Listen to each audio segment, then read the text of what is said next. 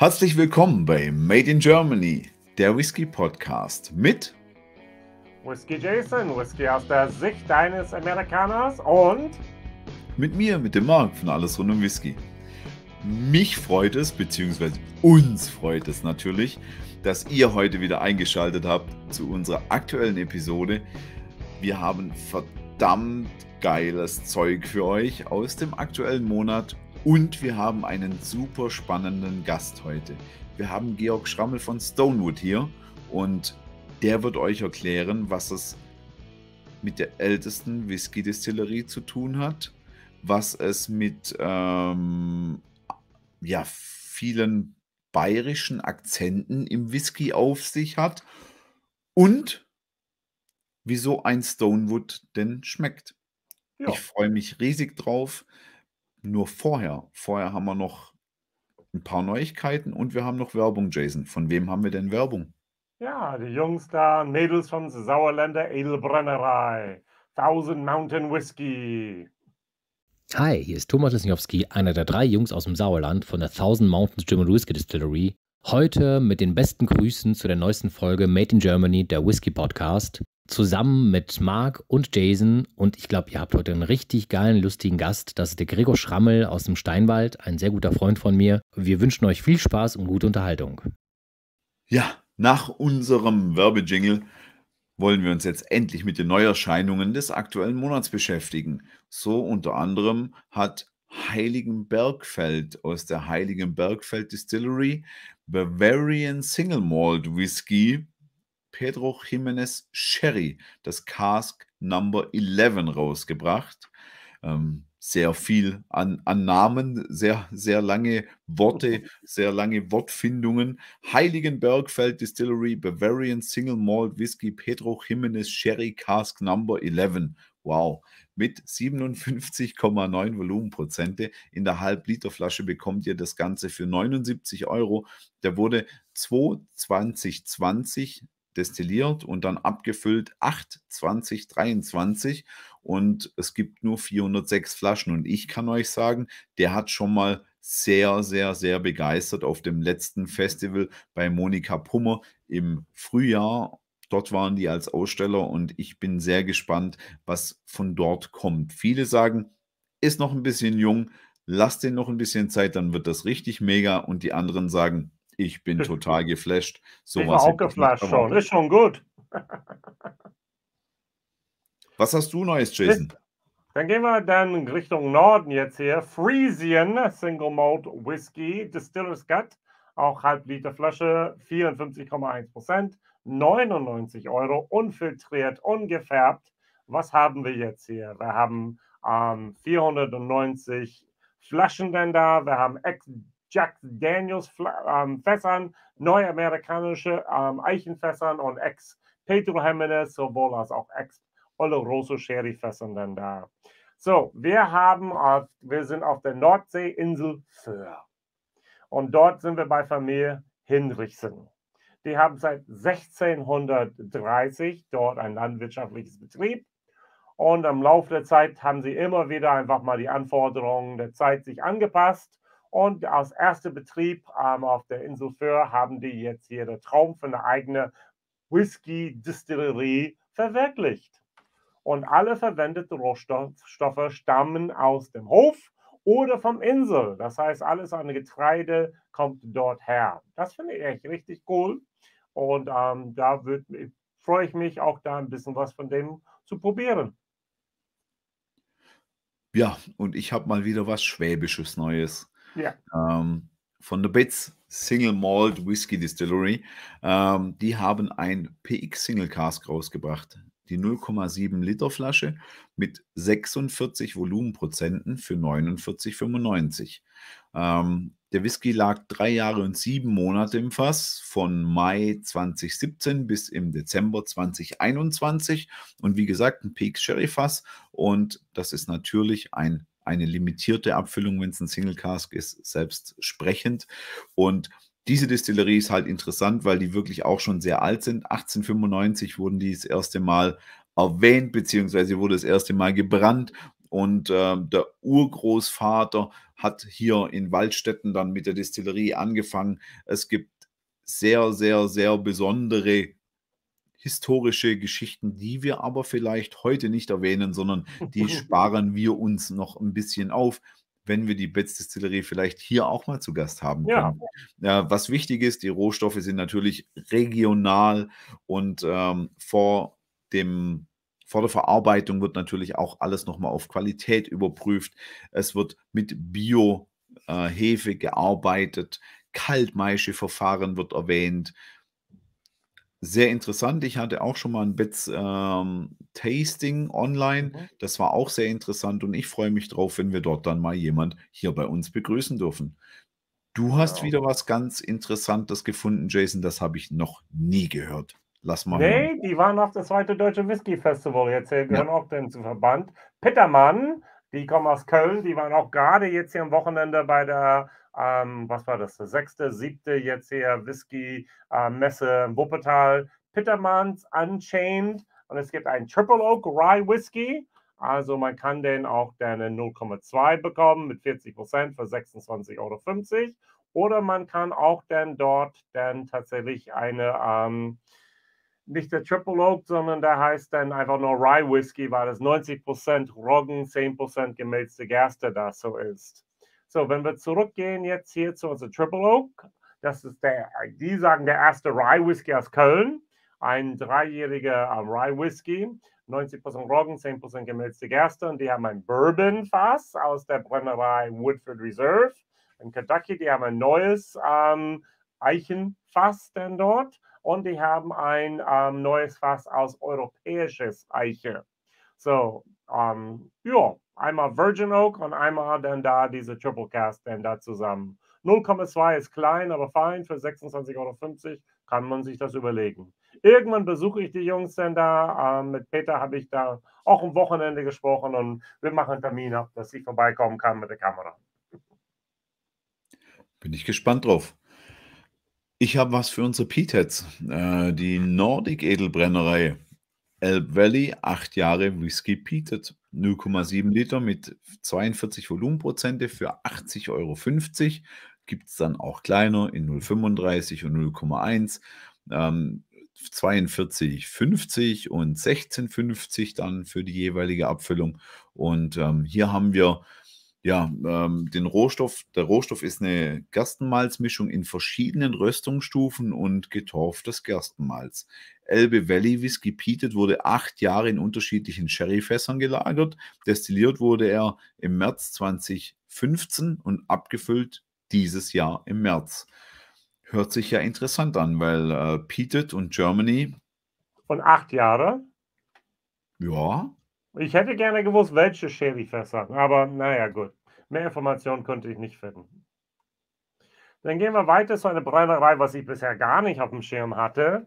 Dehek Golden River, deutsche Single Malt Whisky 0,5, 45% für nette 39 Euro. Und der Single Malt Whisky kommt aus Rheinland-Pfalz, ist vier Jahre in Sherryfass gereift, abgefüllt aus Einzel ähm, Single Cast, also einen einzigen Fass denn da. Und die benutzen tatsächlich lokale rein hessische Gerste und Quellwasser da aus der Tiefe unter der Donnersberg. Echt, man könnte, ich glaube, werbetechnisch viel daraus machen, wenn man möchte, ja. Mit Sicherheit. so, so ähnlich habe ich ja hier auch was, äh, nämlich den Faro Feingeist äh, 2017 bis 2021. Der wurde in der Halbliterflasche mit 42 Volumenprozente abgefüllt und kostet euch 66,90. Und hier handelt es sich um einen deutschen Whisky aus äh, regionaler Biogerste. Und ähm, ja, die machen alles anders wie alle anderen, wie natürlich alle anderen auch, alles, alle anders ja, ihr wisst schon, ja. was ich meine. Ähm, für das Darren des Malzes ähm, werden Torfsoden aus Norddeutschland verwendet und destilliert wird auf einer 1000 Liter Kupferbrennblase, die mit Holzfeuer beheizt wird. Und dann wird äh, mindestens vier Jahre in eigens angefertigten Fässern in der Barrikgröße, also ungefähr 225 Liter, aus schleswig-holsteinischer Eiche gereift. Und äh, die machen wiederum dann, äh, beziehen sich auf die Gründung des Gut Basthorst bei Hamburg und das geht aufs Jahr 1278 zurück. Und in einem der mehr als 30 Gebäude auf diesem Gutshof hat auch die Brennerei Feingeisterei ähm, ihr Zuhause. Martina und Fabian Rohrwasser haben dort seit 2013 ihr biozertifizierte ähm, Edelspirituosenbrennerei ähm, gegründet oder haben die dort ähm, bestehen. Und, mhm. Genau. Äh, und die strengen Qualitätsstandards unterliegen 100% Handarbeit, 100% natürliche Komponenten und ja, die machen, machen da einen ordentlichen Job. Das Gut Basthorst, wenn ihr das in Bezug auf Whisky schon mal gehört habt, da kann ich aus dem Nähkästchen plaudern. Dort war und ist die Deutschlandzentrale von Mac vom schwedischen Whisky. Genau. Und dort ist die Brennerei Feingeisterei. Ja. Interessant, diese Whisky für 66,90 Euro gibt es bei whisky.de. Allerdings, wenn man zu deren ähm, Online-Shop hingeht, der Brennerei Feingeisterei, steht da der Preis von 69,90 Euro und da steht ganz groß darunter, Bitte beachten Sie, dass wir aufgrund der limitierten Stückzahl grundsätzlich pro Person nur eine Flasche Whisky versenden. Also ich finde es irgendwie krass. Also ja, hier bei uns kriegen Sie nur eine Flasche. Bei Whisky.de konnte ich 40 bestellen. Naja. Wahrscheinlich, weil so viel an whisky.de ging, haben sie selber nicht mehr so viel. das ist eine Möglichkeit, keine Ahnung. Aber gut, gut, gut. Es ist immer doof, wenn der eigene Preis höher ist als der beim Online-Shop, denn woanders. Absolut. Aber, naja. Gut. Aber Jason, du hast noch was Neues von jemand, der immer viel hat. Also ich glaube. The Mistress äh, of Distilling. Distilling. Ja, genau. Wie heißt Anna denn da online? Wie ich Alrik? glaube, Anna ist äh, eine der Spitzenreiterinnen mit Neuabfüllungen in unseren Podcasts, oder? Ich glaub, also ich glaube, sie war immer mit dabei. Ich glaube, Running, also Konsequenz, jeden Monat ist irgendeine dabei. Wie Alrik jetzt hier am Rona Cask ähm, 2023, 0,5 Liter, 52,3 für 100, 131,50 Euro, ein whisky.de exklusiv. Und hier stammt es natürlich hier aus dem Harz, aus der Hammerschmiede. Und der Single Malt reift den erst befüllte Amarona Hogsheads weder kühl gef gefiltert noch gefärbt. Und die Amorone Reservefässern werden das Gebiet dann dort in Norditalien, dort bei der Stadt Verona, dann dort ausgesucht und kommt dann da hier für die Reifung zum Einsatz. Also das ist natürlich ein Hammerding, denke ich. Wer Amarone liebt, ähm, der wird da mit Sicherheit äh, fündig, weil ja. wir wissen ja, dass ähm, aus dem Harz immer sehr, sehr gutes Holz kommt. Also die, Genau. die Holzauswahl ist immer mega. Ja. Gut, das waren die ähm, Neuerscheinungen, die wir gefunden haben jetzt hier für September 2023. Wir werden gleich ein bisschen Werbung hören von St. Kilian und dann kommen wir zu unserem Hauptthema. Servus und hallo, liebe Whisky-Freunde. Hier ist Mario Rudolf von St. Kilian Distillers. Ja, es ist Sommer, es ist immer noch heiß draußen. Genießt unser Signature Edition 11. Ein wahrlich toller Sommerwhisky, sanfte Rauchnoten durch unseren Reflux-Kondenser und ja, Jack Daniels Fässer, die eine schöne Spritzigkeit ergeben. Probiert unseren Signature Edition 11. Servus. Ja, und von St. Kilian in Rüdenau machen wir nun eine Reise ja fast einmal quer durch Deutschland und werden in der Oberpfalz heute fündig und haben unseren Gast heute hier, den Gregor Schrammel.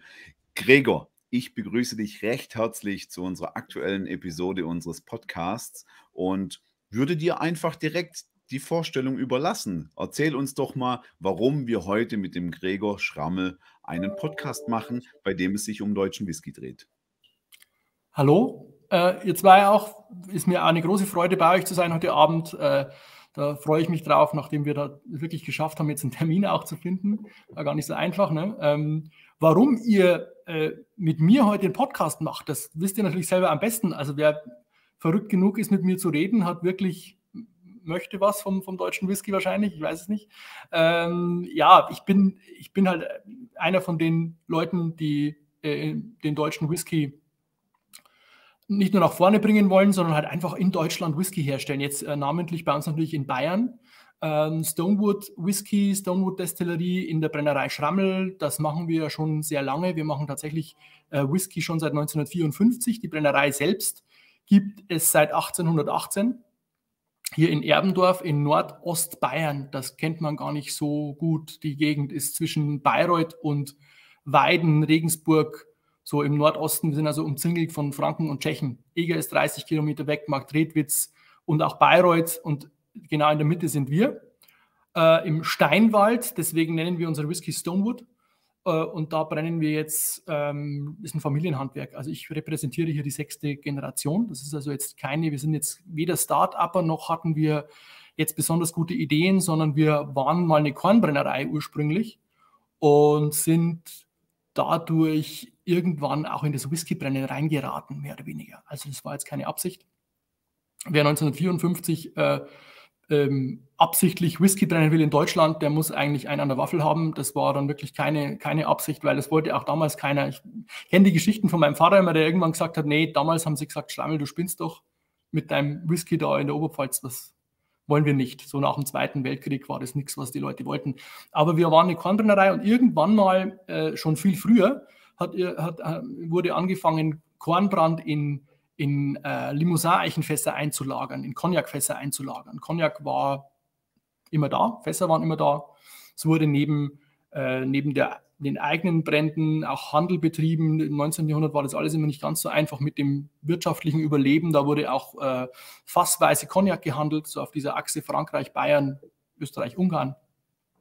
Und irgendwann ist mal einer auf die Idee gekommen, das ist nicht mehr bekannt genau warum, eben in ein leeres Cognac-Fass Whisky einzulagern oder Korn einzulagern, vielmehr, um da, um ihn halt zu lagern, nicht um jetzt was Neues zu entwickeln. Aber da genau das ist halt passiert. Und dann ist ein Weg angestoßen worden, der über 100 Jahre später in diese Whisky-Produktion gemündet hat. 1954 gab es offiziell Stonewood 18, also er hieß damals noch Steinwald Whisky, das war jetzt auch nicht so der Burner und ähm, heute wäre es das wahrscheinlich schon, damals nicht so. Ähm, wurde als Grain Whisky vermarktet und richtig spannend war es aber erst die letzten 20 Jahre jetzt so. Also wir haben ähm, eisern durchgehalten und haben ein Fässchen pro Jahr gemacht und haben jetzt seit, seit 2006 gibt es Stonewood oder 2006 haben wir Stonewood Warts, unsere zweite Sorte, äh, zum ersten Mal gebrannt. Seit 2011 gibt es das. Irgendwann haben wir dann die Lager von fünf auf sieben Jahre verlängert und sind so in die Single Malt Produktion eingestiegen, so in den letzten 20 Jahren auch und haben uns dabei immer gedacht, oder das treibt mich jetzt noch immer um, was, was bedeutet es, bayerischen Whisky zu machen. Also wir sind ja Bayern. Ja.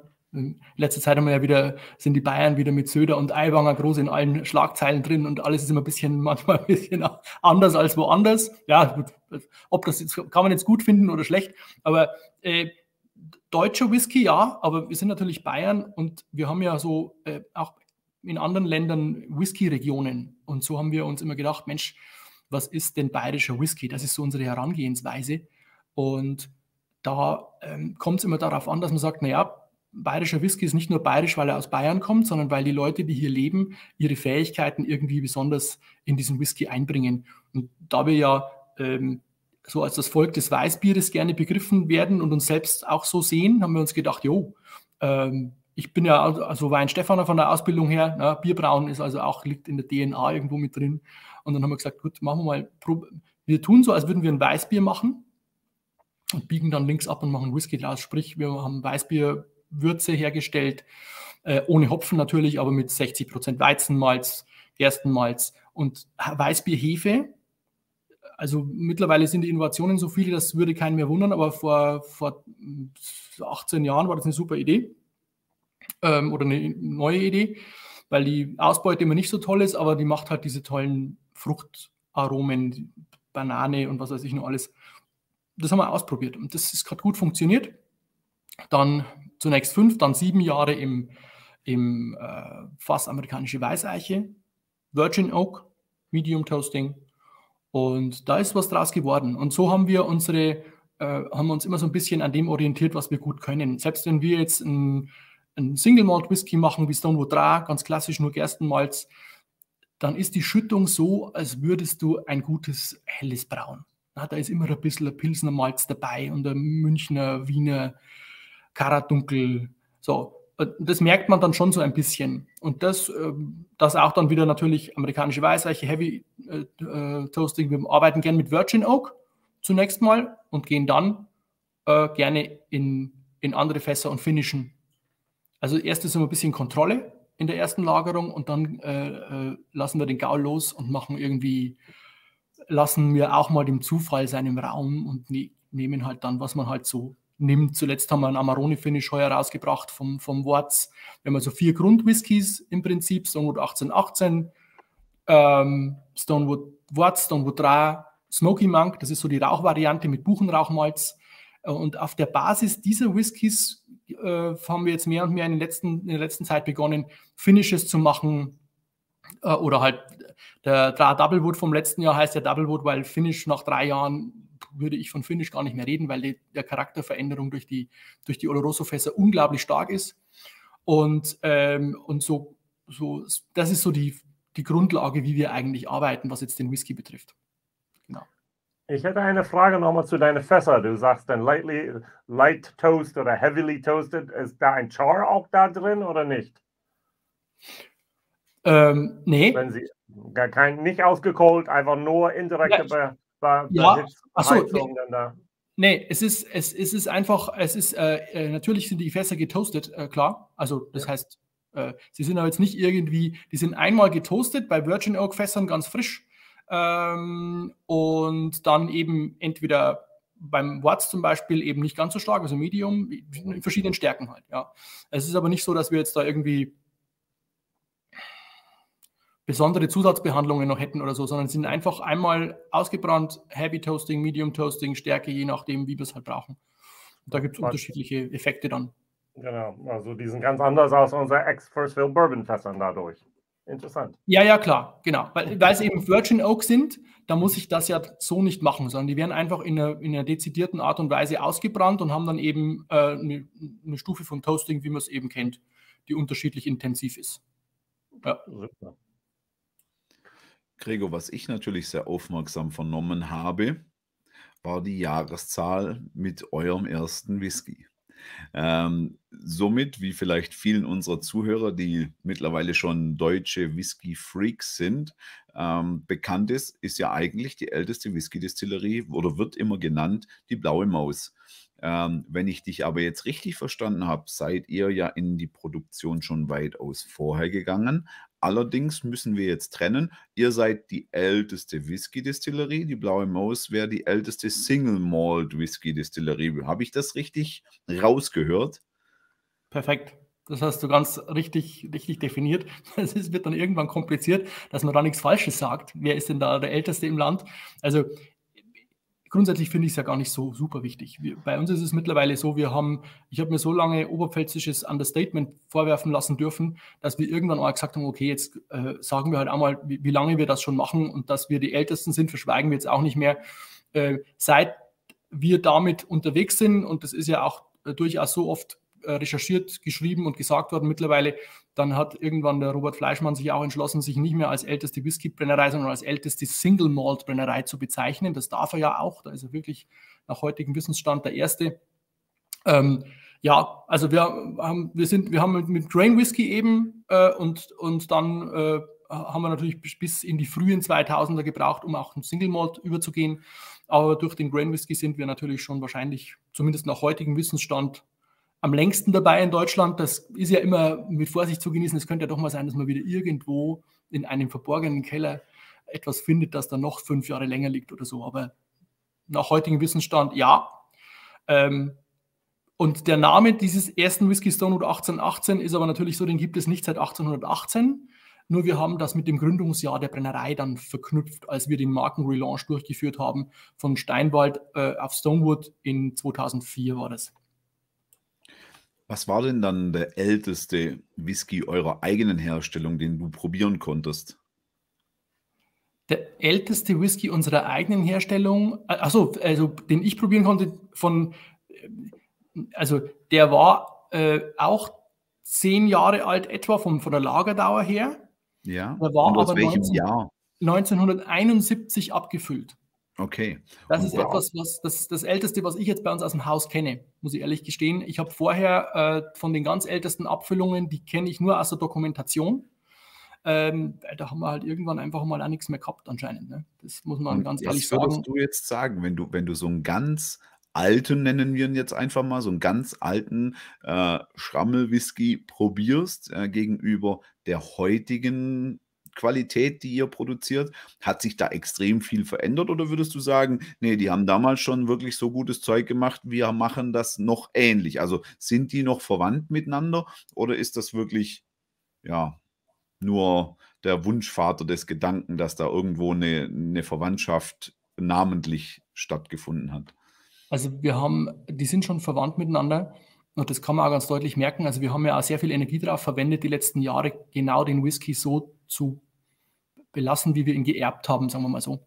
Okay. Die, die, es war vor, vor 15, 16, 17, 28 Jahren war das schon so ein Thema, wo man ja oft, wo wir schon vor der Entscheidung gestanden sind, machen wir das jetzt einfach so weiter, wie Papa und Opa und so weiter, oder machen wir da was anderes draus?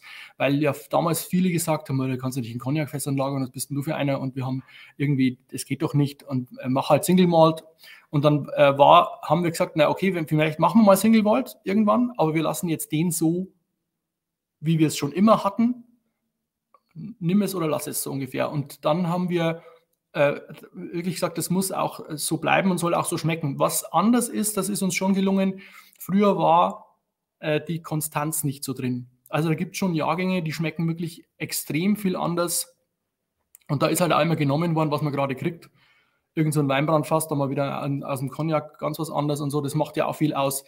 Ähm, und dann hat man halt einfach so drüber gebrannt und dann kam, waren da schon gute Sachen dabei. Es gibt aber auch Jahrgänge, ähm, die mich würde ja stark interessieren. Ich habe mich nicht getraut, die Flasche zu öffnen. Es gibt noch eine, noch eine ganz alte, wirklich ähm, von 1934 ist die, glaube ich. Die ist aber, ja, da steht halt, das ist schon genau so gemacht. Da steht halt dann noch drauf Korn, weil man nicht, damals war es ja vor 1945 in Deutschland, ich glaube nicht, so gar nicht mal erlaubt, ähm, solche ausländischen Bezeichnungen zu verwenden, wie zum Beispiel Whisky für eigenes, ähm, bin mir jetzt nicht ganz sicher. Auf jeden Fall, ich traue mich nicht, die zu öffnen. Die steht bei uns an einem Ort. Ich könnte ihn euch verraten, dann müsste ich euch töten. Kennst du, das ist? bitte nicht, bitte nicht. nee, also das ist äh, ähm, von den Abfüllungen, die ich wirklich verkostet habe, wie gesagt, seit 19 Abfüllung 71 war das erste und natürlich ein paar weitere, da war schon mal, da hat man noch nicht so drauf geachtet, dass das immer gleich ist. Also diese Gefahr, ähm, dass die Jahrgänge stark unterschiedlich sind, die war früher größer. Das haben wir jetzt auch in den letzten Jahren besser im Griff. Natürlich auch, weil wir mehr Fässer machen und die auch ineinander verschneiden in der Standardlinie äh, in einem Jahrgang. Und dann hast du natürlich, fällt mal ein Fass, wo das Holz vielleicht auch anders ist oder was weiß ich, das fällt dann auch nicht so auf, wenn wirklich mal was anders wäre. Das muss man schon auch sagen. Früher mit einem Fass pro Jahr ist natürlich die Gefahr, dass du im nächsten Jahr eine ganz andere Qualität hast, die ist wesentlich größer. Die ist jetzt nicht mehr so groß. Ansonsten sind wir schon recht nah an diesen früheren Qualitäten. Hm, naja, die, Brenn, die Brennereitechnik bei uns ist natürlich schon auch besser geworden, aber das ist, sage ich mal, das schlägt sich auch eher in der, in der Konstanz nieder. Also gleichbleibende Standardqualität auch herstellen zu können. Ja. Sehr interessant. Du hast da gesagt, ein Fass im Jahr. Ihr produziert bestimmt heute ein bisschen mehr, oder? Also jetzt mittlerweile sind wir natürlich mit äh, von, von Stonewood 1818 machen wir 30 bis 40 Fässer im Jahr mittlerweile und von den anderen Whiskys natürlich auch noch wesentlich mehr, sodass wir jetzt bei 200 bis 250 Fässern pro Jahr mittlerweile angelangt sind, die wir füllen. Ähm, das ist jetzt im Moment so ein, so ein Allzeithoch, äh, weil halt die Perspektive natürlich, also ist, klar ist der Umsatz auch gestiegen, aber vor allem die Perspektive, die, die sich daran dann bemisst, noch mehr. Und äh, deswegen haben wir jetzt so viel gemacht. Vor ein paar Jahren war es natürlich noch wesentlich weniger. Wir haben irgendwann 2012 äh, entschieden, das ist ein gutes Jahrzehnt her, dass wir sagen jetzt, wir müssen einfach mehr machen oder wir lassen es. Weil ich habe 2005 angefangen mit Stonewood Words und schlau wie ich war, auch nur mit einem Fass. äh, äh, dass man auch erfolgreich sein könnte, war damals nicht so wirklich im, im Kalkül noch drin. Ähm, und dann hatten wir, als, als wir das erste Mal für Stonewood 1818 eine Goldmedaille bekamen im World Spirit Awards, und das hat dann viele Türen geöffnet, hatten wir halt von jedem äh, äh, Whisky dann äh, ein Fass von diesen beiden Sorten. Jo, das ist ein bisschen wenig. Und da ist die Nachfrage gestiegen. Damals gab es noch nicht viele deutsche Whiskys. Also wir hätten da damals wirklich äh, ein, ein Riesenwachstum hinlegen können, wenn wir was gehabt hätten, mit dem wir hätten wachsen können von der Materialbeschaffenheit her, äh, Materialmenge her. Das hatten wir nicht. Und dann haben wir 2012, nachdem wir auch viel Kritik bekommen haben dafür, dass wir, also es gab schon ein paar von unseren Kunden, die auch gesagt haben, was gehst du denn auf so eine Verkostung und Competition, wenn du gar nichts zu verkaufen hast? Also es ist blöd. So, dann haben wir ein paar Jahre uns gezwickt angesichts der großen Nachfrage und haben dann irgendwie gesagt, jetzt müssen wir die Geschichte ein bisschen aufblasen und haben 2000 2013, glaube ich, war das, lass mich lügen, ja, 2013 haben wir das erste Mal ähm, dann schon bereits mit drei Sorten Whisky um die 45 Fässer, glaube ich, voll gemacht oder so. Und das ist dann jedes Jahr äh, angestiegen, ähm, sodass wir jetzt heute bei einer schon relativ großen Menge sind. Die kann aber nächstes Jahr schon wieder, also wir, wir lassen uns jetzt nicht festmachen, kann auch sein, dass ich äh, angesichts der Rohstoffe, jetzt in Corona haben wir das Problem gehabt, dass Fässer oft mal nicht so verfügbar sind, dass wir mal nächstes Jahr wieder 50 Fässer weniger machen. Also statt 230 dann 180 oder so. Äh, ja, das kann schon sein. Aber wir sind in solchen Regionen, bewegen wir uns mittlerweile schon, ähm, damit wir dann auch dementsprechend lieferfähig sind, auch in, keine Ahnung, fünf oder zehn Jahren. Muss man immer mit, mit einberechnen, was da alles kommen kann ich denke, dass das tatsächlich ja auch ein sehr wichtiger Punkt ist, denn äh, wir haben in unserem Jingle am Anfang immer das Vorurteil, dass deutsche Whisky nach Obstler schmeckt. Genauso gibt es ja aber auch landläufig immer die Meinung, in Deutschland gibt es vielleicht geschrieben irgendwie eine Menge äh, Brennereien, aber äh, wenn hier und dort mal ein, zwei, drei, vier Fässer produziert werden, ist das ein respektabler und ernstzunehmender Whisky-Produzent oder macht der einfach halt nur auch Whisky nebenher? Ja, weil es gibt ja niemand, der nur die Brennerei aufschließt, um seine drei Fässer Whisky zu machen, dann wieder abschließt und im nächsten Jahr same procedure, ja. Sondern es ist ja definitiv so, dass ähm, wenn man längere Zeit eine gleichbleibende Range bedienen kann, ab dann zählt es für viele in der Whisky-Welt einfach erst dann als, als respektable Brennerei und auch als Marke, die man wahrnehmen kann. Weil wenn ich im einen Moment die Abfüllung kaufe, mir schmeckt, ich zeige die meinen Freunden, mache vielleicht sogar noch eine kleine Teilung und möchte mir den dann wieder nachkaufen und es gibt ihn nicht mehr. Ab dann wird es natürlich, und das ist, denke ich, den, den Punkt, den du auch gerade angesprochen hast, ab dann wird es natürlich auch ein bisschen schwierig. Ähm, eine ja. Fanbase aufzubauen, ja, um es ja, mal absolut. neudeutsch auszudrücken. Ja. Also ich finde, das, das muss ja der Anspruch sein, wenn ich mich einen professionellen Destillateur schimpfe. Profi bin ich dann, wenn ich äh, reproduzieren kann. Wenn ich das wieder, wenn ich in der Lage bin, etwas wieder so herzustellen, wie ich es schon getan habe, dann zeige ich, das war auch Absicht. Also ich äh, kann, jedes blinde Huhn findet mal einen Korn, äh, aber ich muss es wieder tun können, wenn es gut war. Ähm, und das ist etwas, was wir auf jeden Fall da, da, sind wir einfach da, da, will ich jetzt gar nicht sagen, das wäre jetzt große Philosophie von uns oder so. Das ist, glaube ich, Pflicht für jeden, der sich professionell schimpfen will. Und das ist, äh, hängt dann auch damit zusammen, dass man ein paar Fässer mehr von einem machen. Also Wachstum ist ja nicht immer eine Sache, wo man sagt, oh, jetzt haben wir das Dollarzeichen in den Augen, ich muss vielmehr, um eine Grundqualität gewährleisten zu können, immer ein bisschen mehr machen. Also die berühmten drei Fässer, die du da ansprichst, die reichen nie und nimmer aus äh, um, um reproduzierbar gute Qualitäten immer wieder zu gewährleisten. Da muss ich einfach ein bisschen mehr investieren. Und äh, wer mehr investiert, muss sich natürlich auch sicher sein, dass er das gut handwerklich bedienen kann oder überhaupt von der, von ganzen ähm, äh, Professionalität her. Und da sind wir schon, da haben wir uns die letzten 20 Jahre auch nochmal ein bisschen weiterentwickelt und arbeiten natürlich ständig dran. Immer wieder äh, auch am Fassmanagement und jetzt äh, sind wir erst in der Phase so seit zwei, drei Jahren, wo wir sagen, jetzt machen wir wirklich mehr Finishes und nicht nur die Virgin Oak Sachen, sondern mehr äh, komplexer in die Tiefe zu gehen mit all diesen schönen Sachen. Das machen jetzt ja viele Kollegen auch. Da kommen tolle, tolle Sachen, finde ich, in letzter Zeit raus äh, in ganz Deutschland. Ähm, und die Vielfalt ist unheimlich groß und das macht äh, da habe ich jetzt momentan wieder so eine neue Stufe der Freude erreicht. Das macht einen unglaublich großen Spaß.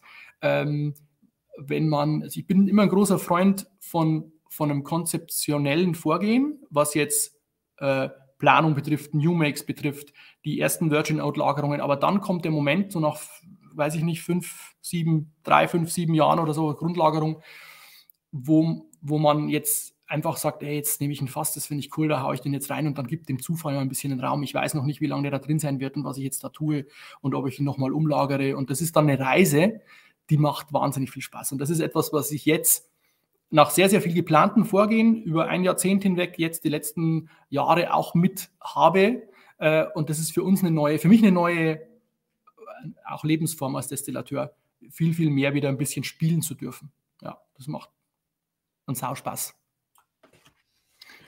Jetzt haben wir ja mit diesem kleinen Vorurteil aufgeräumt. Lass uns mal noch mit dem typischen deutschen Whisky-Vorurteil aufräumen. Jetzt hast du ja als grundlegende Kornbrennerei nicht unbedingt das Problem, dass dein Whisky direkt als Obstler bezeichnet wird, auch wenn ihr Obstbrände im, im Angebot habt. Ähm, erzähl mir doch mal bitte ganz kurz, wie würdest du sagen, wie unterscheidet sich jetzt ein ähm, Kornbrand aus dem Hause Schrammel dann ähm, von dem Whisky? Also was, was hat sich verändert oder was macht ihr anders auf dem Weg, sodass ähm, der ja so eine Eigenart, ein eigenes, ein eigenes Produkt wurde einfach? Also ähm, ich sage mal grundsätzlich Korn sollte ja immer eine Spirituose sein, die, die wahnsinnig äh, sauber in der Art und Weise ist, dass sie eigentlich aromatisch relativ neutral wird. Relativ neutral, am besten relativ äh, weich oder da, da, da, alles abgeschwurbelt an den Ecken, dass nichts mehr ist. Dann nimmt man gerne, gerne ganz viel Weizen her ähm, und hat somit natürlich eine ganz andere Art äh, zu, zu gären, zu, zu, zu maischen auch. Wir haben, wenn wir äh, Korn maischen, machen wir nicht das klassische äh, Kornmaischverfahren, wie jetzt Brennereien im Norden oben machen, das haben wir allerdings auch noch nie getan. Also in Bayern gab es ja früher äh, viel mehr Kornbrennereien, als man denkt, und die haben ganz anders gearbeitet als die Kornbrennereien, die im Norden waren in Deutschland meistens verortet. Äh, von dieser bayerischen Kornbrenntradition ist nur wenig übrig geblieben. Die war immer schon aromatischer ausgelegt. Äh, das ist aber ein bisschen schwierig. Wir waren, das waren sehr viel mehr kleinere Brennereien, die gab es auch nur im Norden. Also Bayern hat man ja klassisch so als dieses Obstbrennereigebiet. Ne? Also nur in, in der Oberpfalz, äh, wo ich herkomme oder wo ich bin, da, wir waren immer schon ein lausiges Obstgebiet und da gab es relativ viele Kornbrennereien, kleine Kornbrennereien, die haben in Holzbottichen gemeischt, relativ aromatisch, eher fast so wie ein Brauereiprogramm von den Temperaturanstiegen her immer und so. Ähm, und vom Brennen her, heute könnte man sagen, viel näher am Whisky dran, mit ganz anderen Vor- und Nachlauf-Cut-Punkten, äh, als das in der Kornbrennerei der Fall ist. Diese Tradition ist ein bisschen gestorben wir sind zum Beispiel die einzige Brennerei im Umkreis von 120 Kilometern, die den Zweiten Weltkrieg überlebt hat. Also das, das ist, da ist vieles gestorben und dann wusste man irgendwann gar nicht mehr, dass es das überhaupt mal gab. Äh, da haben wir ein bisschen anders gebrannt, immer schon. Aber grundsätzlich von dem Korn, was man als Korn bezeichnen würde, was heute eher, heute eher so aus dem Norden kommt, ist das Maischprogramm, äh, Cut, Vorlauf, Nachlauf ist anders, wird natürlich deutlich weiter ausgelegt beim Whisky. Da muss man beim Korn viel, viel mehr abschneiden, um wirklich Neutralität zu gewährleisten. Das wollen wir ja gar nicht. Und ähm, natürlich ist, wird dann auch das Gärprogramm anders gemacht. Wir vergären obergärig und relativ warm. Ähm, und das gibt immer mehr Aroma von, von Hause aus. Das würden wir beim Korn auch so tun. Und dann bist du schon nah am Grain Whisky Bereich dran. Und dann gut, Fass, Fass tut natürlich immer sein Übriges. Ähm, vielleicht, was mir immer so ein bisschen noch am, am, Herzen liegt bei der ganzen Diskussion um dieses Obstlern oder Gerstlern, was den deutschen Whiskys häufig vorgeworfen wird. Also ich muss ja leider sagen, will unsere eigenen Nester nicht beschmutzen, aber das stimmt zum Teil, hat es gestimmt leider. Also ähm, das, da gab es ein paar Leute, die hätten vielleicht nicht gleich einen ersten Versuch vor vielen Jahren auf den Markt bringen sollen. Da gab es ein paar, die haben wirklich leider ein bisschen, ja, Obstlern ist ein bisschen so komischer. Es gibt etwas, was man ähm, als Assoziation mit Obstbränden verbindet und das sind Gerbstoffe. Calvados. Wenn ein Whisky eher so, so, so einen Calvados-Touch äh, hat, ähm, dann ist das, dann, dann ist da zwar nichts vom Obst drin, aber das entsteht dann, wenn ich meine ähm, Maische aus Gerste mache, zu 100 Prozent, weil ich will ja Single Malt machen, mache ich Gerstenmaische. Und ich hau das einfach nur mit Spelz und allem drum und dran als Ganzkorn in den äh, Maispottich rein und vergäre das. Dann ist beim Gärprozess entstehen Säuren, die lösen ganz gerne sämtliche Zellulose-Stoffe aus allen Spelzen raus, die es nur gibt. Und das sind auch Gerbstoffe.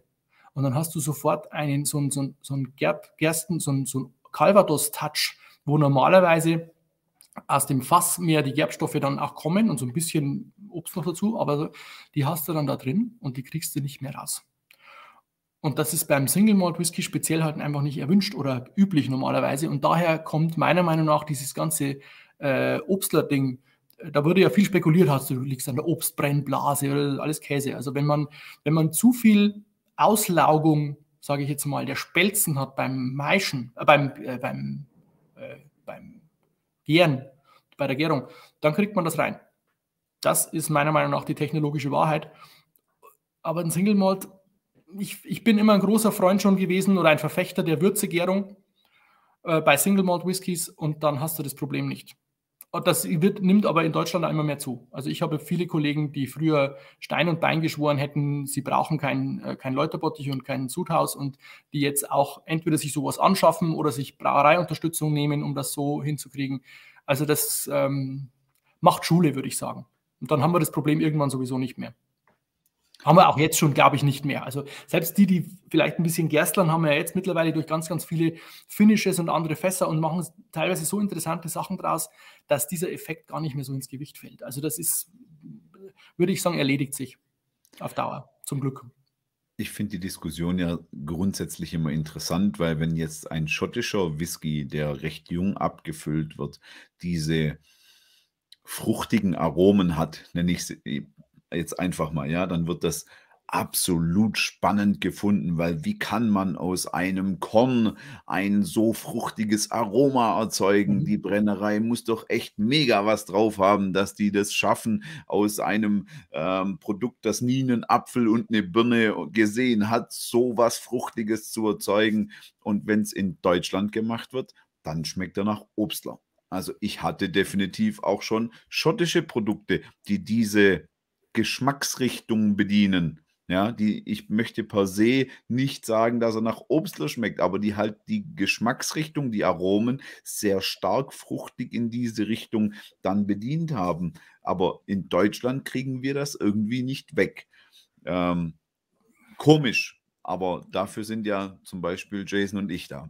Ja, wir versuchen ja alles. Macht einen guten, einen guten Job. Äh, er wird mit gewissen Vorurteilen immer leben müssen. Da gibt es immer ein paar, die durchs die wir immer noch, wird es ein paar Gestrige geben, die noch in zehn Jahren aufs Land ziehen werden sagen, alles scheiße, in Deutschland wird geobstlert. Hm. Also ich finde, äh, Fruchtaromen haben ja ihre Berechtigung. Man sollte sie aber absichtlich reintun in den Whisky ähm, oder sie sollten nicht unbedingt äh, nur aus Gerbstoffspelzen kommen oder so oder aus falscher Vergärung, sondern aus äh, Stoffwechseltätigkeit der Hefe und vielleicht auch mal irgendwo ähm, Fässer und Rohstoffe, Kombination und sowas. Aber ähm, es stimmt schon, wir Deutschen neigen dazu, auch uns selbst gegenüber. Es sind ja in, in Deutschland sind ja viele rumgelaufen, deutsche selbsternannte Whisky-Päpste, die immer gesagt haben, ja, deutscher Whisky ist scheiße, ist alles nur noch Obst. Im Ausland werden wir ja oft gar nicht so negativ beäugt. Da sagt man ja viel mehr, ach, das ist ja mal interessant, schauen wir mal, was aus Deutschland vielleicht kommt. Und ist da ganz ergebnisoffen. Aber wir selber betreiben gerne Selbstbashing. Ist so. Ist manchmal tatsächlich so. Genau. Kannst du ein bisschen was von deiner Anlage erzählen jetzt hier? Was hast du denn da an Brennapparaten? Also wir haben äh, das, was, mir, was man hinter mir sieht, ist unsere ähm, Reinigungsanlage oder äh, in Whisky-Sprache würde man sagen, die, die uh, Spirit Still, die fast 300 Liter. Und ähm, links neben mir wäre, das kann man jetzt im Bild nicht sehen, steht äh, die größere Anlage. Unsere äh, Wash Still hat ähm, 1200 Liter Blaseninhalt ähm, und äh, ist mit nebenstehender Kolonne, also ist grundsätzlich die Brenntechnik schon nach wie vor an dem orientiert, was in Deutschland so, so Klassik ist, die letzten Jahrzehnte. Das heißt, mit einer nebenstehenden Kolonne, die man eben äh, da machen wir zum Teil, brennen wir da natürlich auch Obstmeischen drauf. Die kann man eben äh, sozusagen auf Durchzug schalten, sodass der Dampf einfach durchrauscht. Ähm, dann haben wir ganz oben noch ähm, so etwas, was, was, wo ich drauf stehe, äh, so eine, so eine Katalysator nennen wir das. Das ist so eine Edelstahlröhre mit lauter Kupferblättchen drin, um dann nochmal möglicherweise die Kupferoberfläche erhöhen zu können, wenn ich da aromatisch noch was tun will oder auch was abscheiden möchte, was mir nicht so gefällt. Und dann, das kann man auch zu- oder wegschalten. Da haben wir also ganz viele Möglichkeiten, um ganz, ganz viel Kupferoberfläche zu, zu erhöhen oder wegzunehmen. Ähm, und ansonsten ähm, ist das, ja, da kommen dann, wie gesagt, 1200 Liter Wash Still, 300 Liter Spirit Still. Das heißt, wir brennen auch beim Whisky zweimal. Ähm, das, was da aus der Wash Still rauskommt, wird dann in die Spirit Still extra nochmal gebrannt. Das kann man jetzt nicht so sehen, weil häufig ist es so bei Brennereien, wenn sie sowas haben, ist es meistens öfter mal in Reihe geschaltet. Bei uns ist es nicht so. Wir brennen, wir machen sozusagen Raubrand. Ähm, der kommt in den Tank rein und äh, wird dann später nochmal auf der Spirit Still nochmal gebrannt. Aber immer eben zweimal und das, was dann hinten rauskommt, hat bei uns so ähm, ja, eigentlich fast an die 90 Prozent, so 88 Prozent, 86 bis 88. Dann verdünnen wir runter auf 50 bis 55, je nachdem, wie lange er eben ins Fass soll, also relativ weit runter verdünnt schon und gehen so ins Fass rein, erstmal Virgin Oak meistens, ähm, so dass bei uns die Fassstärken, die wir dann haben, wenn wir äh, Limited Editions machen oder wenn wir Finishes machen, Finishes sind bei uns meistens Limited momentan, das sind so Small Batches mit, keine Ahnung, vier, fünf Fässern meistens momentan, dann äh, gehen wir gehen wir da in Fassstärke in die Flasche und das ist bei uns meistens um die 50 Prozent. Also da sind wir deutlich niedriger, als jetzt man das von den, von den meisten Schotten zum Beispiel klassischerweise kennt, weil wir halt schon niedriger in die Fässer reingehen.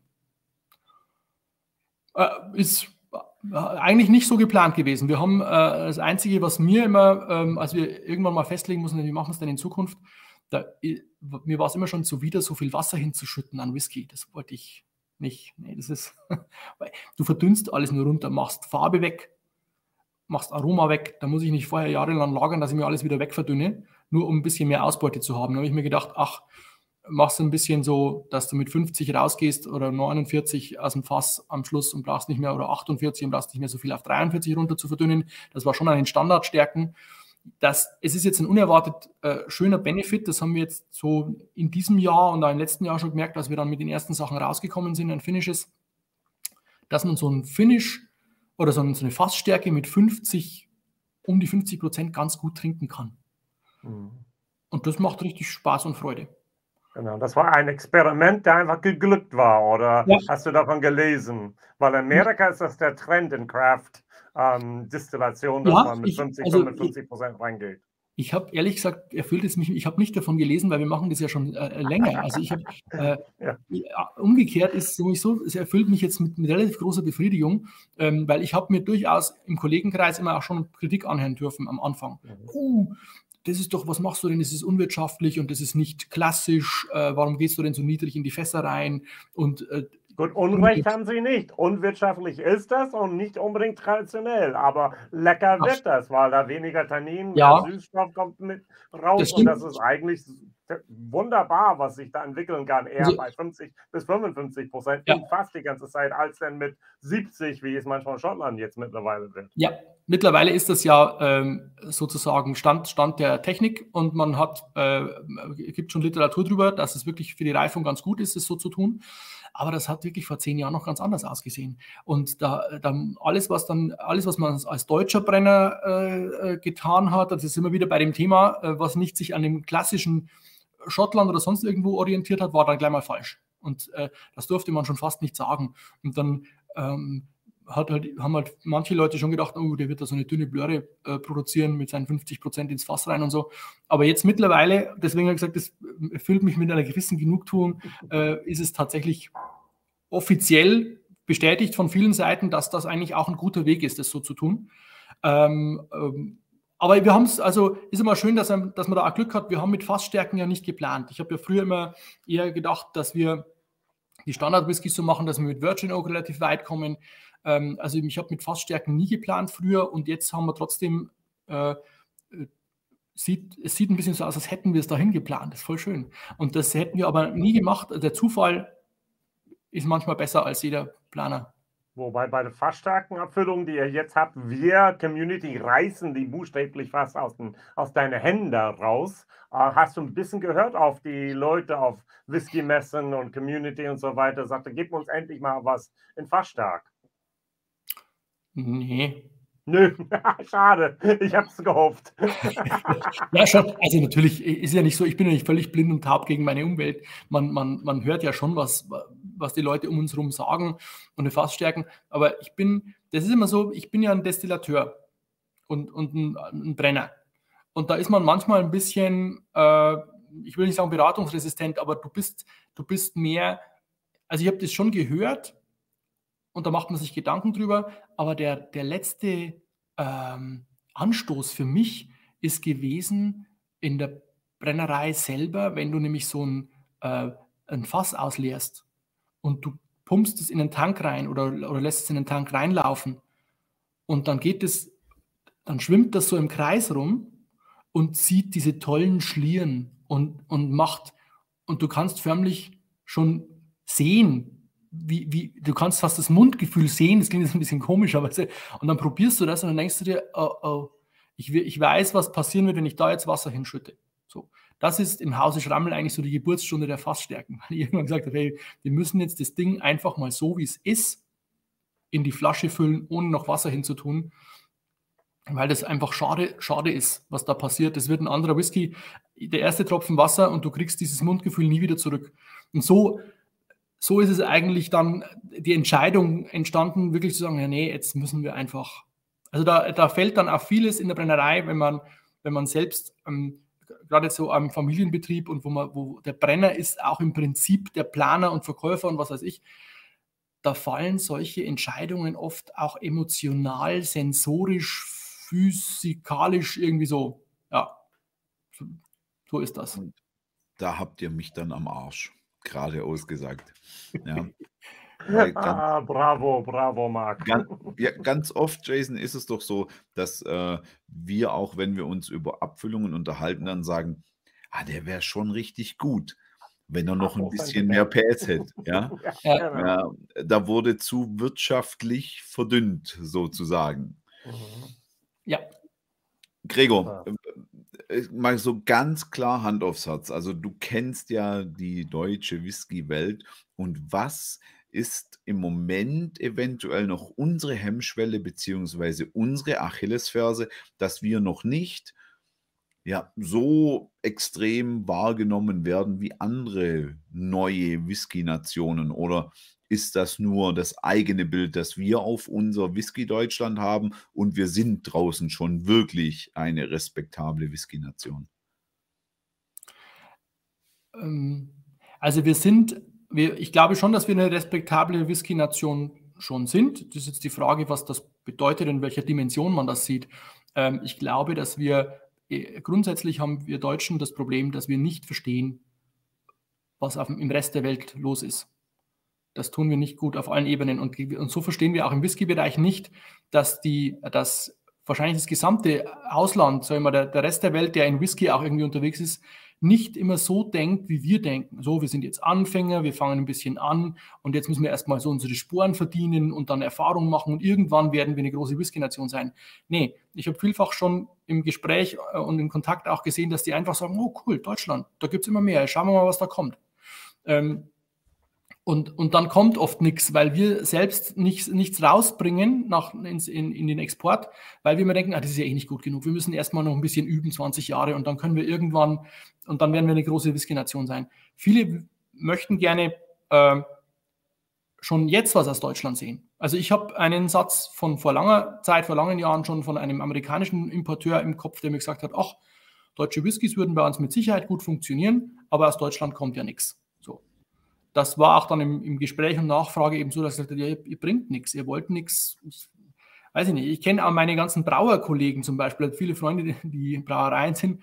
Das ist ein Wahnsinn, wenn da jetzt so, ja, oh, jetzt holen sie wieder die Italiener und die Chinesen, jetzt wollen sie wieder einen Container abholen. Oh, naja, gehen wir ihnen halt. Also man, man, man ist da, das ist einem fast schon zu viel zu exportieren. Man möchte lieber so seine, sein Süppchen hier im, im Inland kochen. Das ist ganz häufig so. Also wir müssten selbst einfach nur mehr offensiv nach draußen gehen. Das ist das eine. Und ähm, ansonsten haben wir natürlich schon noch ein bisschen, müssen wir mehr Orientierung geben, was deutscher Whisky ist. Also das ist schon so, dass man natürlich noch nicht genau sagen kann. Man hat ja oft, wenn du nach Schottland gehst, dann hast du die Whisky-Regionen und du weißt ungefähr, was dich so erwarten kann. Das Bayside, Isla oder ich weiß es nicht. In Deutschland gibt es das nicht. Und wenn ein Importeur oder ein fremder Mensch nach Deutschland kommt und möchte Whisky kaufen, dann müsste man ihm so ein bisschen Orientierung geben können, wo es da was Gescheites gibt, weil sonst wird es schwer wir haben ja zu diesem, äh, ähm, ich bin da nah am Thema, weil wir zu diesem, mit, mit einigen befreundeten Kollegen, habe ich ja heuer äh, Malls of Germany gegründet. Das ist äh, eine äh, Marke und eine Firma, die sich genau damit beschäftigt, nämlich aus verschiedenen deutschen Abfüllungen in verschiedenen Brennereien. Momentan sind wir fünf, aber wir suchen natürlich, schauen uns um nach weiteren deutschen Partnern, wo wir spannende ähm, Batches finden, die wir da mal einbinden können in so eine Range ähm, das Ziel ist immer gewesen, ein Bild von deutschem Whisky nach außen zu geben. Und ich hab, wir haben ein paar Aha-Erlebnisse gehabt. Wir haben uns ja heuer vorgestellt auf der Prowein mit Malls of Germany. Da kamen ein paar ähm, aus, aus, der ganzen Welt eigentlich. Also ich kann mich erinnern, ich habe es wirklich gesehen bei einem, der kam, der war aus Taiwan. Ähm, der stand vor uns und auf seiner Stirn stand förmlich geschrieben Orientation. Also das ist jetzt Deutschland, da gibt es Malls of Germany und die werden mir jetzt mal vielleicht weiterhelfen mit einer Range, die in Deutschland vielleicht noch schwer zu finden ist, wenn du irgendwie sagst, was, was kann ich aus diesem Land typisches äh, mitziehen an Whisky. Das gibt es noch nicht so. Da, da braucht man vielleicht ein bisschen mehr Historie dann. Aber das versuchen wir mit solchen Projekten Malls of Germany zum Beispiel anzuschieben. Nicht einfach, aber spannend. Ich wollte gerade sagen, nicht ganz so einfach, weil ich bin da ja bei dir, ähm, dass wir nicht unbedingt in Regionen einteilbar sind, aber liegt das nicht auch unbedingt nur daran, ähm, dass wir halt in ganz Deutschland theoretisch auf ähnlicher Basis produzieren können. Also ich meine, bei den Schotten ist das ja mit Sicherheit auch geschichtlich gewachsen. Ja, warum, warum sind wir bei Eila mit Torf unterwegs? Ähm, weil es halt ein günstiges Brennmaterial war. Ja, nicht nur, weil die unbedingt sich absetzen wollten von allen anderen, sondern das war halt da. Und äh, mit Sicherheit sind auch Brennstile und auch äh, die Regionen, äh, Hölzer, äh, Wasservorkommen und so weiter, ja, mit Sicherheit ähm, in, in diesem kleinen Schottland unterschiedlicher wie, wie jetzt bei uns, obwohl wir ein großes Land gegenüber Schottland sind, ähm, äh, nicht ganz so unterschiedlich. Und äh, es orientiert sich jeder irgendwo an einem trinkgefälligen Space Hider, sage ich jetzt einfach mal. Und ähm, wir sind ja erst langsam auf dem Weg dorthin, dass der ein oder andere sagt, Moment, ich möchte ja nicht schmecken wie, sondern ich möchte so schmecken. Und mhm. das, das ist meine Richtung, ja. Also da sitzt ja bei dir, ich darf nicht sagen im Bayerischen, aber im Fränkischen sitzt ja zum Beispiel ein, ein Kollege, der ein ganz klares Statement rausgibt und sagt, äh, wir machen nur mit ordentlich Volumenprozente und äh, wir machen nur mit äh, Torf was, mhm. um uns abzugrenzen. Ich denke, den Entwicklungsprozess, den müssen wir ja erst noch, erst noch durchleben und uns fehlen da noch ein, 200 Jahre, ja. bis, das, bis sich das wirklich so separieren kann. Ja, absolut. Also bin ich voll bei dir. Äh, äh, das ist eben etwas, es, kann, es könnte ja nach einiger Zeit, die vielleicht nur ins Land geht, auch rauskommen, dass Deutschland nicht unbedingt in die Regionen unterteilt werden muss oder kann, sondern dass unser Markenzeichen, was, was sich ja jetzt schon ein bisschen abzeichnet,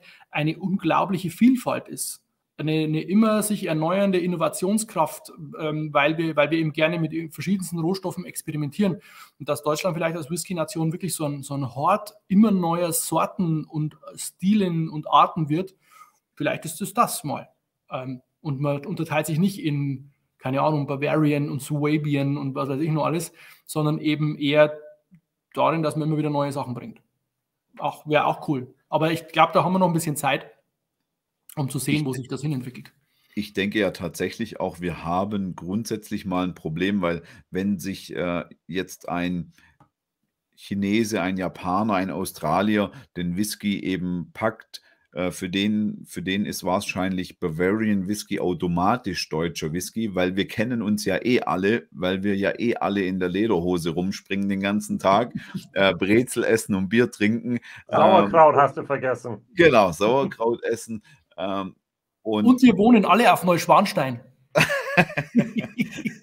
und fahren mit 280 mit der Porsche über der Autobahn, ja? Mit dem Pult, mit dem Fendt, ja. Und, und, was soll so jemand jetzt mit, mit äh, Schwaben, mit äh, dem Harz äh, oder mit Franken anfangen? Ja, die können ja mit den Regionen auch gar nichts anfangen. Ich persönlich gehe im Moment meinen Weg. Ähm, da mag mich jetzt auch jemand korrigieren oder sagen, nee, das passt nicht. Aber ich finde, unterschiedlich sind wir vor allem, wenn ich den Output betrachte. Ähm, ich finde in vielen kleinen Brennereien sehr viele spannende Sachen, weil dort noch ja, wie du vorhin gesagt hast, ein bisschen experimentiert wird. Ähm, bei den Großen geht es dann schon Richtung Industrialisierung. Ja, wir sprechen dann schon einfach von gleichbleibender Qualität über sehr lange Zeit.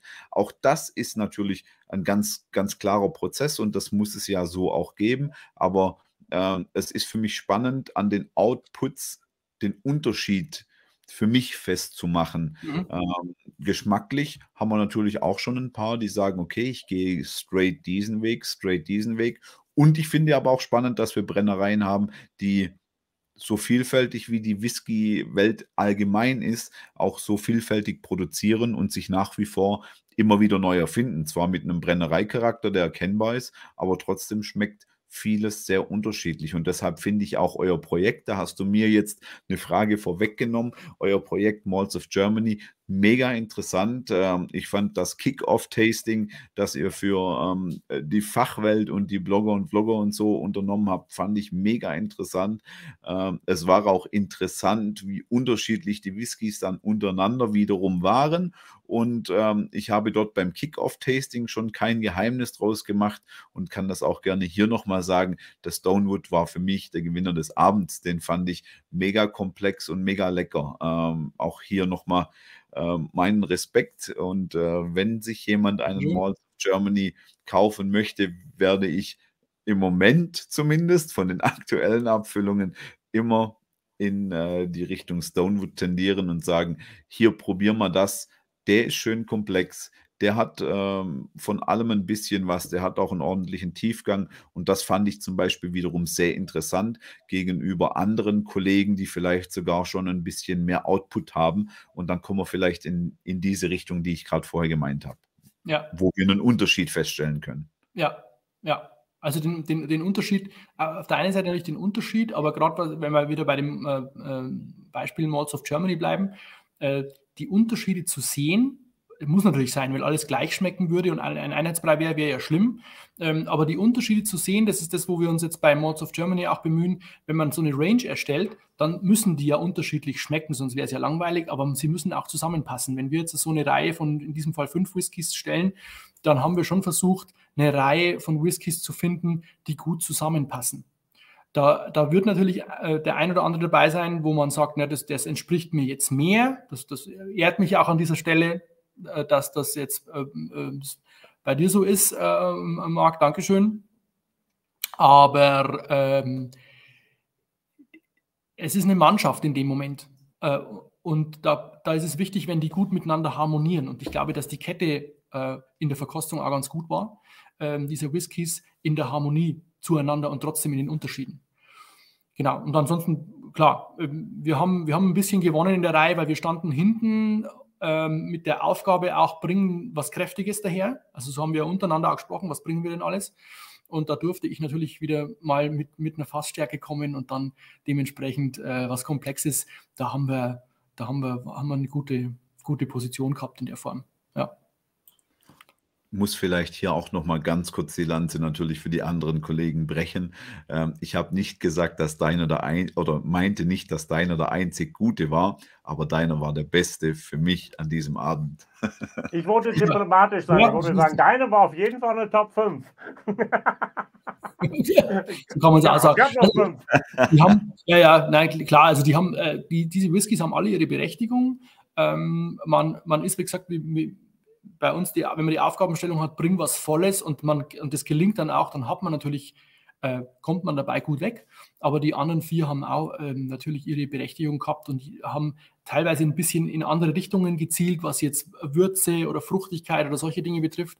Ähm, waren auch dann keine Fassstärken. Und da haben wir gerade schon drüber gesprochen, da bist du als Fassstärke sowieso immer ein bisschen vorne dran. Ja, das kann man dann gar nicht so gut vergleichen. Aber wie gesagt, also das, ich glaube, es ist der Start, ja, ist ganz gut gelungen, da sind wir ganz froh drüber. Und da müssen wir mal sehen, ähm, wo sich das mit Malls of Germany hinentwickelt und ob wir vielleicht noch eine bessere, größere Community unter dieser Dachmarke auch zusammenkriegen. Das wird noch spannend werden. Eine letzte Frage habe ich. Ähm, bisher, wir haben uns das letzte Mal auf Burg Schaffenstein gesehen bei der zweiten Deutsche Whisky Festival. Der dritte Deutsche Whisky Festival findet bei, findet bei dir zu Hause statt, in deiner eigenen Brennerei. Das ja. ist eine Wagnis und eine Herausforderung denn da. Äh, ja. einfach von Größe her, oder? Ja, stimmt. Ähm, wir wären auch bislang gar nicht in der Lage gewesen, das platzmäßig zu stemmen. Wir haben aber jetzt ähm, eine, äh, ein, ein Anwesen erworben neben der Brennerei. Das war so ein, früher so ein, so ein kirchliches Veranstaltungshaus und äh, das wollte die katholische Kirche immer loswerden. Wir, haben, wir sind da Katholiken und nah dran und immer Kunden, wenn die was verkaufen wollen, dann steht der Schrammel da und nimmt das ab. Und jetzt haben wir irgendwie ähm, äh, sind wir da so ein bisschen reingerutscht, weil halt neue Locations gesucht wurden. Und für mich war es ganz gut, das ganze Projekt äh, des Veranstaltungshauses, das wir für unsere Brennerei jetzt erstmal bauen wollen, nicht allein nur für die Messe, sondern für uns erstmal. Das war durch die ganzen Corona-Krisen und Materialkrisen. Das Projekt läuft jetzt schon seit vier Jahren und ist äh, teilweise stehen geblieben. Und ich bin ehrlich gesagt ganz froh, mittlerweile eine Deadline zu haben, weil ich sage, jawohl, jetzt ist Messe nächstes Jahr bei uns. Das Ding muss fertig werden. Ähm, und wir werden eine schöne Location äh, zimmern wir jetzt zusammen, wo wir nächstes Jahr das Festival des deutschen Whiskys bei uns haben.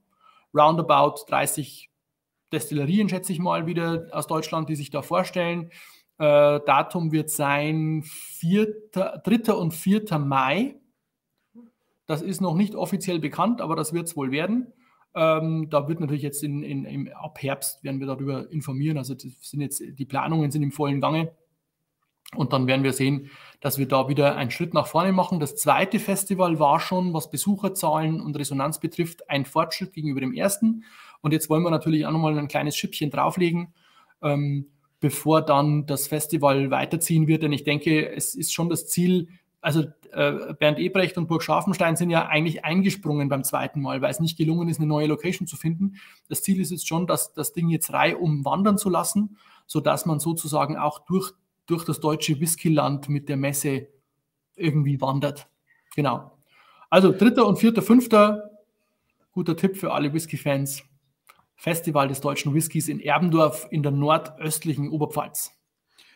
Gregor, nachdem wir jetzt schon fast in bester ZDF und äh, Thomas Gottschalk-Manier mal wieder überziehen, Jason und ich setzen uns immer ein Ziel, ähm, das wir höchst selten erreichen, liegt aber nicht daran, dass wir uns selber gern sprechen hören, sondern dass wir natürlich unseren Gästen immer so viel Raum wie möglich geben wollen. Und äh, ich hätte zum Abschluss trotzdem noch eine vielleicht etwas provokante Frage.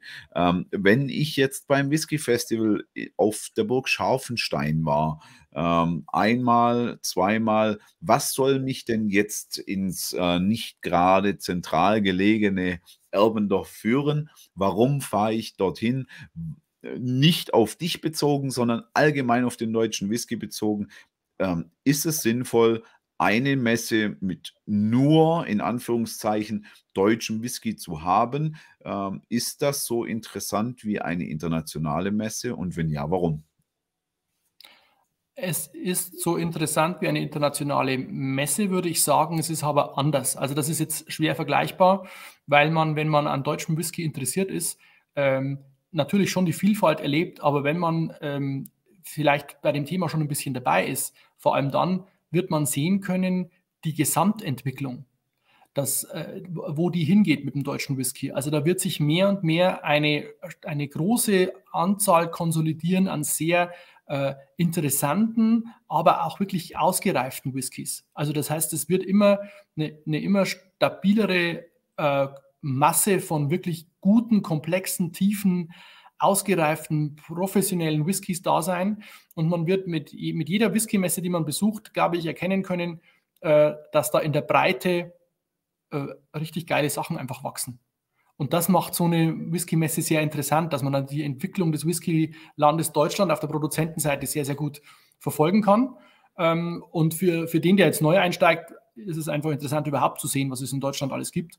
Ähm, nebenbei natürlich eine, eine deutsche Brennerei zu sehen, weil das, das ist ja immer der, Neben, der Nebenbenefit von so einer Location, von so einem Location-Wechsel, dass man sieht, ah ja, jetzt sind wir hier mal in, in Erbendorf und sehen mal, äh, was es hier alles so gibt und wie die Brennerei hier, wie die Location aussieht. Und wie gesagt, das, was ich gerade sagte, die Gesamtentwicklung kann man gut, gut verfolgen. Das ist das, was ich an Feedback auch ganz mir stark gemerkt habe, auch jetzt in Scharfenstein, äh, den Unterschied zum ersten Festival schon zu sehen, was die einzelnen äh, Aussteller betrifft, wo sie sich hinentwickeln. Das hat vielen ähm, äh, gefallen. Ja, zum Glück gefallen. Nicht nicht gefallen, sondern sie fanden es cool. Also sind wir irgendwo auf dem, auf dem Weg zumindest in die richtige Richtung.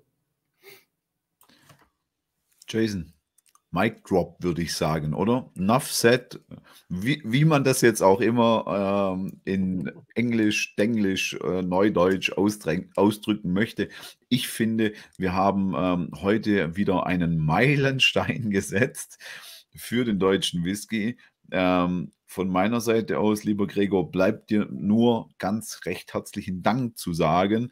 Ähm, es war super interessant, ähm, wie du hören und sehen konntest, waren wir interessiert.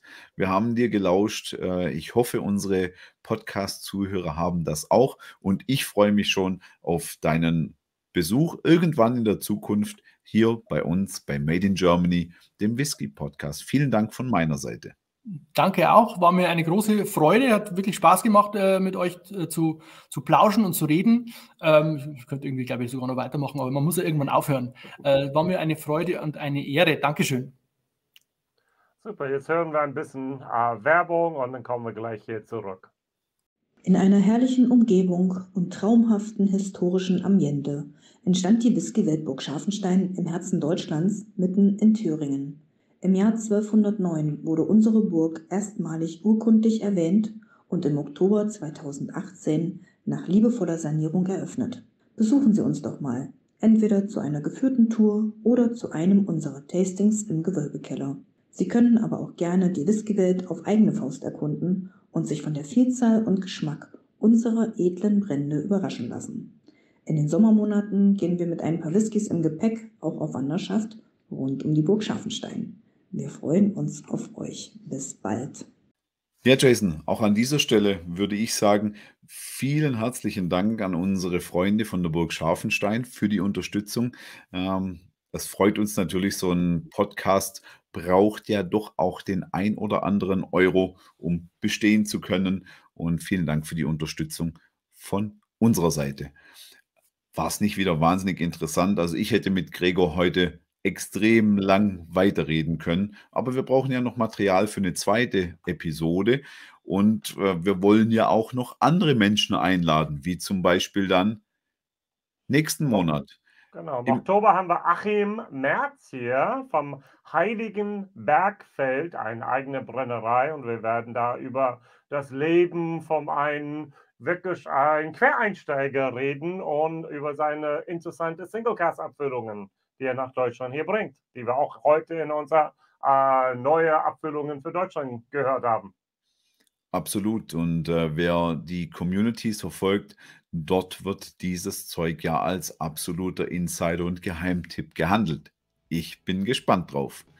Und bis dorthin würde es uns freuen, wenn ihr uns natürlich weiterhin unterstützt. Erzählt euren Freunden, euren Bekannten von uns, liked uns, abonniert uns, alles, was uns in irgendeiner Form weiterhilft dass wir euch weiterhin die News so aktuell bringen können und natürlich so interessante Gäste wie heute.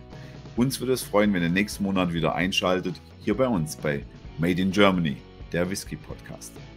Und vielen Dank für alle Leute, die zwei Jahre lang schon uns zugehört haben. Und vielen Dank an Marc hier an dieser Stelle, dass wir das schon 24 Folgen lang hier machen könnten. Absolut. Ich danke dir und ich freue mich auf die nächsten, sind wir mal Kleinstapler, nicht Hochstapler, die nächsten zwei Jahre. Super, bye bye.